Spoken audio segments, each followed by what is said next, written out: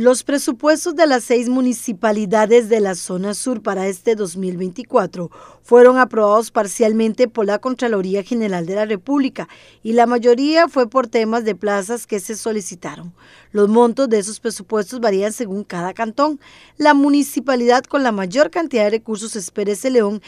que prácticamente duplica algunas y triplica a las otras. Esos son los datos por cantón según lo publicado por el sitio web de la misma Contraloría. Empezamos con Pérez Celedón, donde se comunicó la aprobación parcial del presupuesto inicial de 2024 de la municipalidad por 13.878 millones de colones. Explican que se dio parcialmente por la creación de 12 plazas por cargos fijos, la reasignación de una plaza por cargo fijo, así como para la transformación de cuatro plazas de servicios especiales a cargos fijos, dado que el estudio de viabilidad financiera remitido no corresponde al análisis previo que sustente la aprobación de las plazas.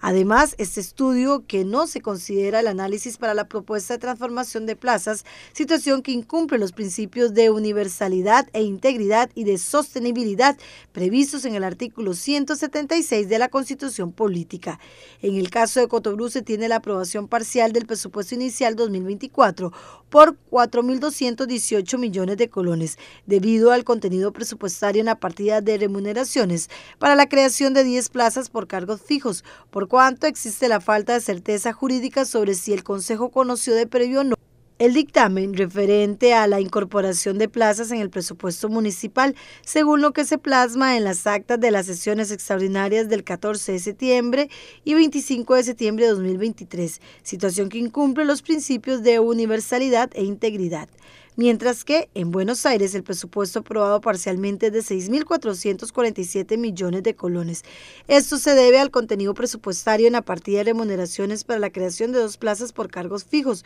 por cuanto no demuestran razonablemente la sostenibilidad financiera para adquirir obligaciones salariales de carácter permanente, dado que el estudio de viabilidad financiera remitido para la plaza de topógrafo fue firmado el 25 de septiembre de 2023, posterior a la aprobación del presupuesto inicial 2024, realizada en la sesión extraordinaria del 20 de septiembre de 2023, viabilidad que tampoco consta en la mencionada acta y solo incluye el ingreso por concepto del impuesto de bienes inmuebles. Pasamos a OSA, donde el presupuesto es de 7.618 millones de colones, aprobado parcialmente por varias razones según el ente contralor explican que el contenido presupuestario previsto en la subpartida actividades protocolarias del programa 1, por cuanto no se encuentra fundamentado la legalidad que expresamente permite este tipo de gastos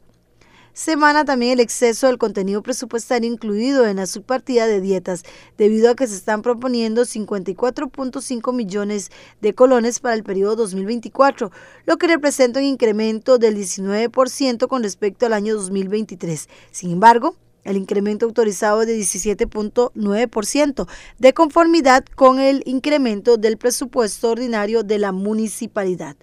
y el contenido presupuestario en la partida de remuneraciones para las ocho plazas por cargos fijos y las transformaciones reclasificaciones. Lo anterior debido a que el estudio de viabilidad financiera que demuestre la sostenibilidad financiera para hacer frente a las nuevas obligaciones salariales solo incluye un análisis del comportamiento del ingreso de los periodos 2019-2023 y proyección de 2024. Por su parte, la Municipalidad de Golfito es por un monto de 4.278 millones de colones y se aprueba parcialmente por varias razones.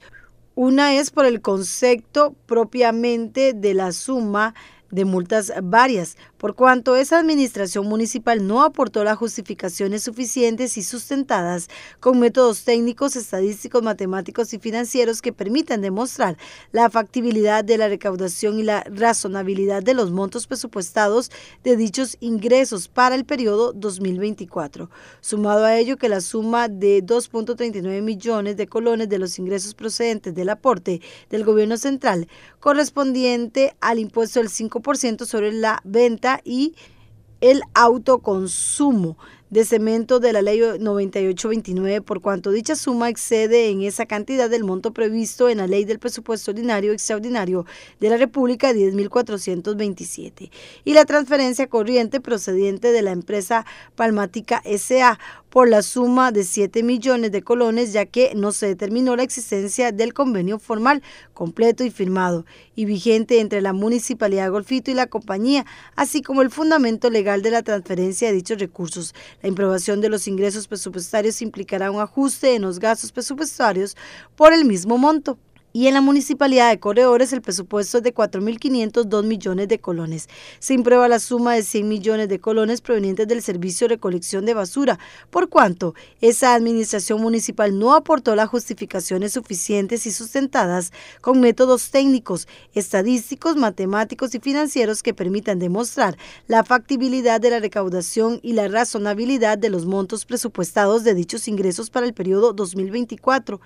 Al respecto, el ente contralor menciona que se evidencia un porcentaje de crecimiento por encima de lo esperado, según la situación macroeconómica actual. Así también se identifican niveles de morosidad que comprometen más del 50% los ingresos por percibir en el servicio, por lo que ante la consulta efectuada para determinar los criterios empleados por ese gobierno local, no se aportaron los datos y cálculos necesarios sobre los supuestos utilizados que permitan justificar el incremento de los ingresos respecto al 2023. La improbación de los ingresos presupuestarios implicará un ajuste en los gastos presupuestarios por el mismo monto. Todos los detalles de los presupuestos se encuentran en el sitio web